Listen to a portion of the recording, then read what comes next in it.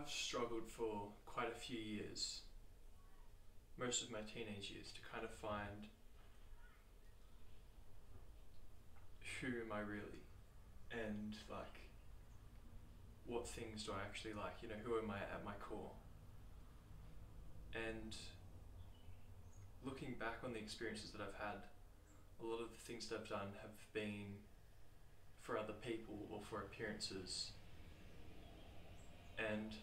Kind of like a tough pill to swallow because it's like, well, have I been living my whole life for other people, for other circumstances? Like, even with these videos, you know, with these challenges that I've tried to do, like painting, like playing piano, doing music, doing the juggling and the football. I'm not sure if even I really wanted to do that or if I just wanted to be good or show the progress of having that so then other people would like me and so that I would get more views.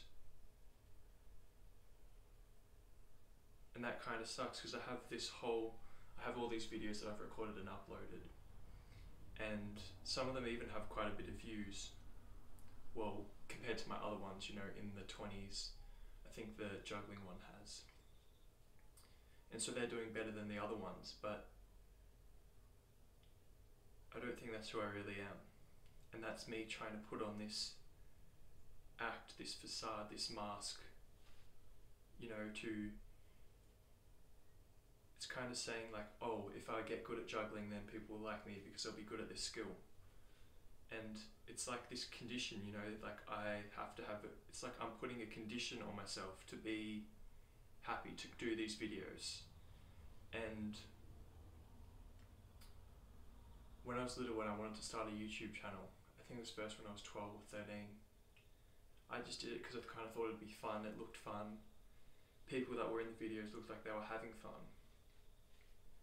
And then I kind of got really embarrassed and anxious because other people saw it and I was like, oh, what are they going to think of me? And then I thought, well, I just got to kind of fit in, go along. And when you just do that, there's kind of like this I don't know, like this, just like this buzz kind of underlying kind of ambience. I can't find the word quite for what I'm trying to say, but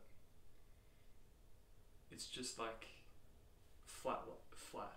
You know, it's like there's no depth or excitement to it because it's not connecting to what I value and what I truly want and what I'm trying to experience. So that's why I've done this video kind of frustrating because I have the next week's videos up, um, kind of recorded already, but I might take some of them down because I feel like I wasn't really being authentically me, and I'm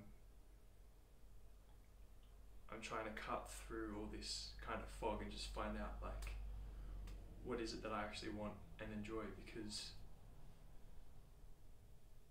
all of these things that I'm doing just feels like a facade at the moment guess that's what I'm just trying to say that